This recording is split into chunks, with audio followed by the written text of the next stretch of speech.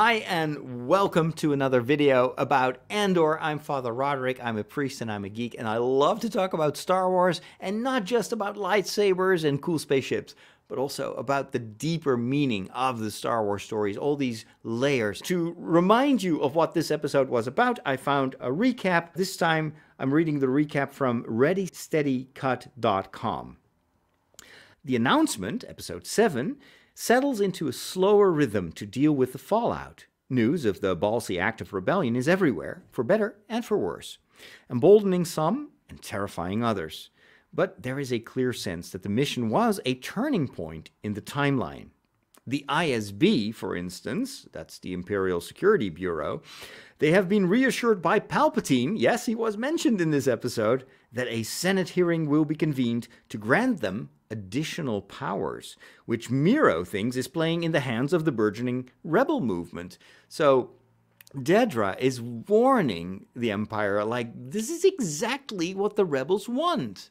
They want us to believe that this is a robbery, that this is just part of, you know, just random acts of, of rebellion but she sees the connections and she feels that no, the rebels are onto something. They are doing this systematically and they are taking our valuable equipment and now also money to fund something way bigger. It is a threat, but of course, no one believes her. So, what I also liked about this first part of the story is that the Empire has this same knee jerk reaction that it has always shown in the past, and that they will also do later on in A New Hope and in Empire Strikes Back. And that they react with more oppression, more violence. They literally use the metaphor at one point of clenching your fist, tightening your grip. And we know what Leia says about that. It won't help, but it's the only way that they know how to react. But maybe Dedra is going to show us that there is also an alternative way to deal with the rebellion. Meanwhile, Mon Mothma suspects Luthen and isn't happy about A, the fact that she had no knowledge of the operation in the first place. We're talking about the Aldhani operation. And B, the potential ramifications on her position as a senator an Imperial Star Destroyer floats ominously over Aldhani. This is, of course, the famous shot of the teaser trailer. I was hoping that we got to see it. And, and then, of course, this, this huge Star Destroyer, accompanied by small groups of TIE fighters, shows that the Empire is, is reacting with more power. We hadn't seen any stormtroopers yet on Aldhani, but we hear in in the episode in the background that they've already um, arrested hundreds of people on Aldhani as a retaliation, and now they're sending in this big star destroyer just like they did on Jedha later on in Rogue One. It's literally showing off their power. This is a star destroyer. We are here hovering over you. You cannot escape our grip a very menacing, very cool, very cool scene. The good news is that word of the attack is getting to the people, and the people are beginning to believe in something bigger than themselves. So the heist on Aldhani becomes almost like a rallying cry to people that may, up until that moment, may not have been willing to join the rebellion. But now people are seeing that there are actually groups of rebels that are dealing a blow to the empire. And that is encouraging. So this may actually be the beginning of more people joining the rebellion because at this point in history, the rebellion is still pretty small, very poor, as we've seen, and they have no money, they don't have much, they don't have any ships yet. But that may be about to change. So the people start to believe that there is a chance that you can resist the empire's totalitarianism and that it's actually worth rising up against the oppressor. But there's still plenty of work to be done. Meero is fortunate that she was the only person to have picked up on the evidence of that work being done in the first place, since it strengthens her position. She might flirt with the rules somewhat in amassing reports of missing avionics outside of her own jurisdiction, but when the matter is raised officially by Blevin, she not only gets the props for using her initiative, but also gets to take over his duties. She is quietly positioning herself as one of the show's primary antagonists. I love that, by the way. This whole power play was maybe my favorite part of, of the episode, especially the dialogue there. Um, so you think Blevin thinks that he's going to win by basically ratting out what Dedra is doing, and yeah, she is ignoring the rules, but she has so much more vision. She displays courage, and that is also perceived by her superiors. Although she does get that warning, watch your back. So you know that Blevin is going to try to thwart her plans, or worse, maybe she's going to get herself killed if she's not careful. It just shows you what a great group of friends the Empire actually constitutes.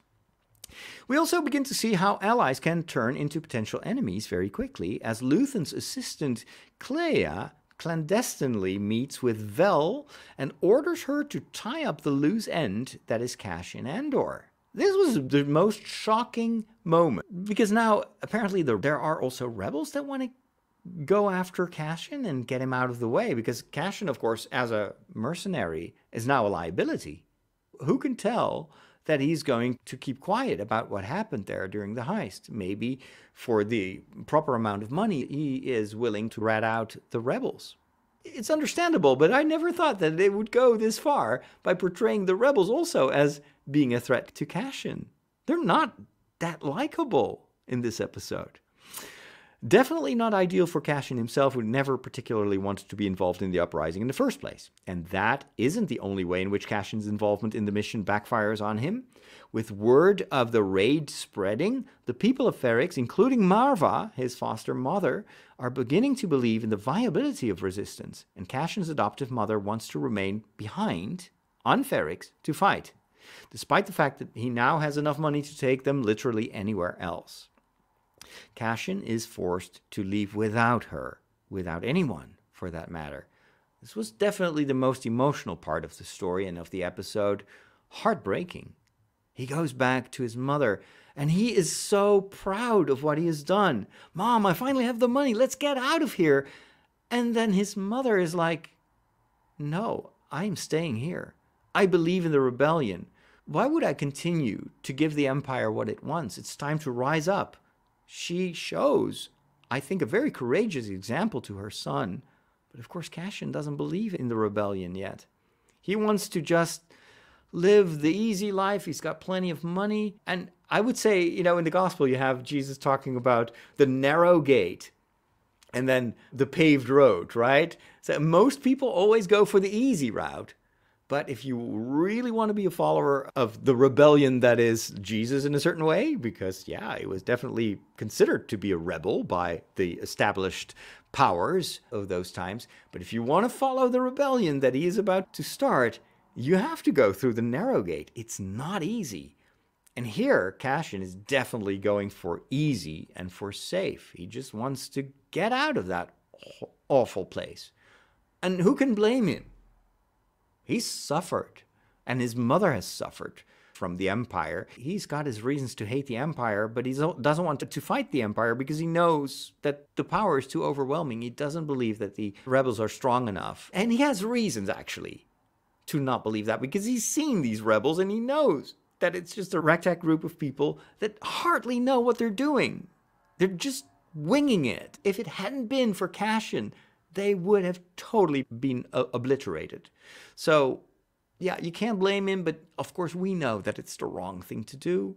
And I admired his mother. Even though she's old, she has courage. And that is something that is more valuable than anything else. But, but Cassian doesn't listen and he doesn't follow his mother. And so you get that breakup. What I also love structurally, story wise, what they do here is to create this contrast between two sons and two mothers here. We see Syril Karn back with his mom, totally obedient, and his mother is just finding him the most awful job in the galaxy. Is this bureaucratic, stupid desk job. But isn't that a way also for her to tell her son, I don't believe in you? She is projecting, right?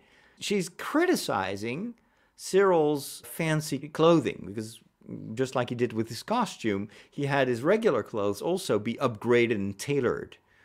And then his mother is telling him, You just do that because you're insecure about your position. But of course, it's his mother who lacks faith and lacks ambition and lacks the confidence in her son. I was feeling so bad for Syril. And you know that he is destined for something much, much bigger. But then he will have to dare to step away from his mother, which he doesn't dare right now. Cassian and his mother, Marva, it's the opposite almost. Here it's the mother who wants to challenge her son to be brave, to stand up against the empire, do the right thing. And it's Cassian who just settles for this the simple life on a like a planet that that feels a bit like Miami, you know. He's just going to the beach and wants to just be a tourist. And of course, that doesn't work. The empire is there too. That there is no place where you can escape from the grip of the empire because they want total domination. There is no other way than rebellion or submission. But Cassian leaves his mother behind and he's losing the few people that he called friends. And what does he get in return? Well, this is where things get worse for Cassian. While he's hiding out on Niamos, that's the Miami planet, at a nice beachside resort, he's accosted by a shore trooper, which was so cool because we got introduced to the shore troopers in Rogue One.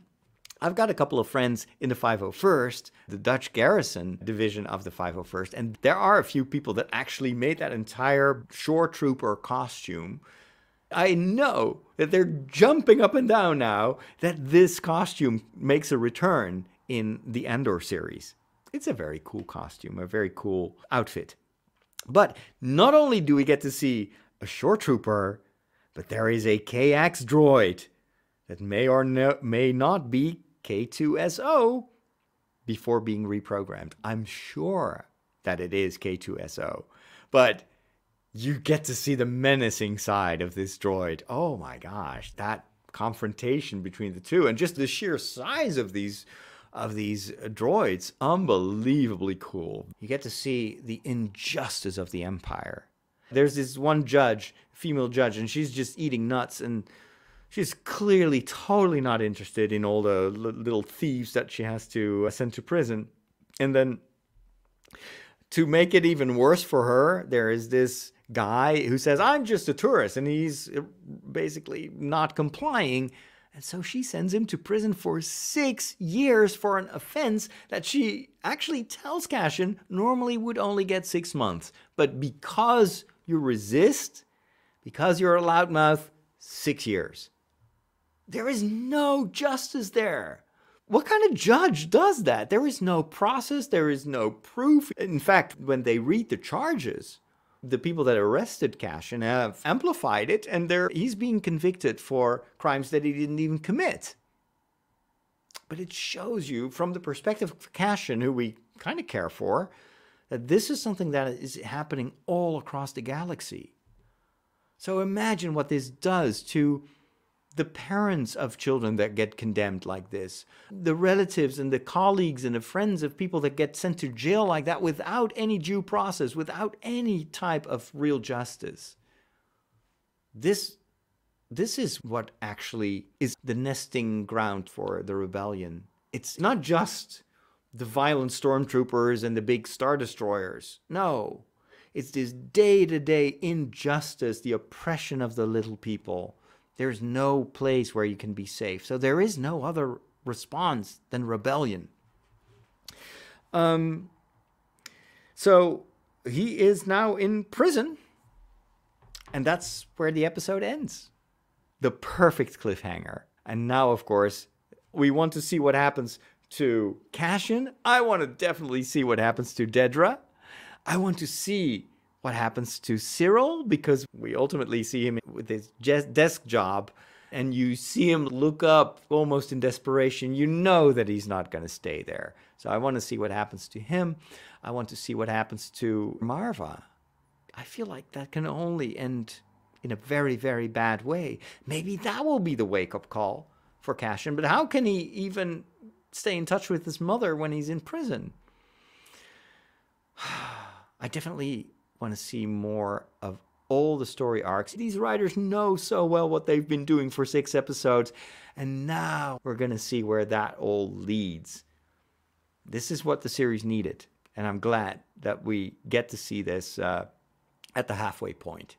Those were my thoughts. Let me know in the comments what you thought of this episode. I do a weekly podcast for my patrons over at patreon.com slash Father Roderick, where I talk about anime. I do these deep dive analysis episodes about Star Wars series and movies. And you also get to help me with my work here on social media. Thanks. Talk to you later, and may the force be with you.